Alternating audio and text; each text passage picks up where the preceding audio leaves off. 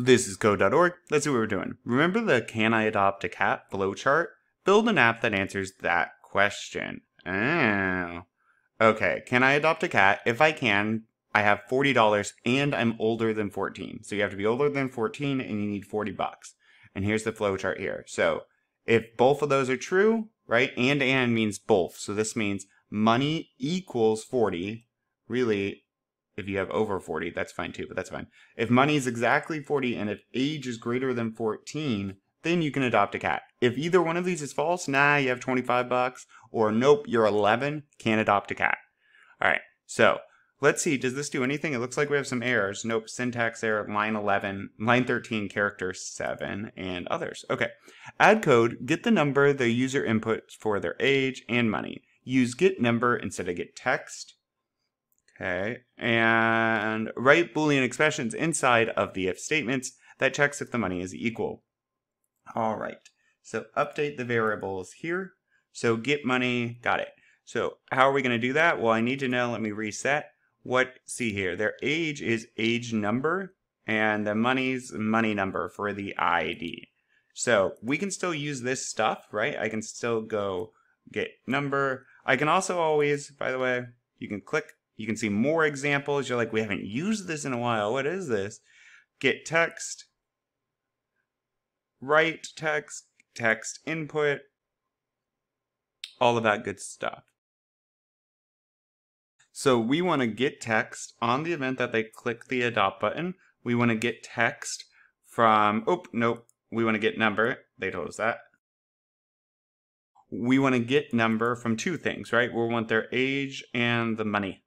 So get number, get number. What do you want here?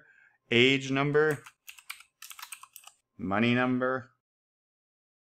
And what should I set this equal to? It looks like we already have variables for them, so that's great. I'm going to say age is equal to get number, age number, and then I'm going to see money is equal to get number, money number. And always check these, missing a semicolon. Yep, boom, and boom.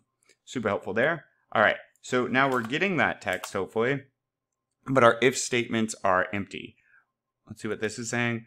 Write the expression below that chicks, if their age is over 14 and money equals, and they kind of gave it away here. So first off is money is equal equal 40 and and remember we're asking for both things so and and and age is greater than 14 and remember what this does is the computer now will say okay if your money is equal to 40 and age is greater than 14. So if they say, yeah, my money's 40, but I'm 9, well, this is a false statement. Then the computer says false, skips it, and runs whatever is in the else statement. This and and is critical. Okay, let's take a look. Maybe it'll let us go to blocks. Yep. All right, let's take a look. 15 $40. Oh, I kind of liked that picture. All right, let's try it again let's say I am 9 and we want to test several cases here and I have $55. Nope. Okay, well, let's try one more, right? So we tested age, but what if I'm 55 and I have $2? No.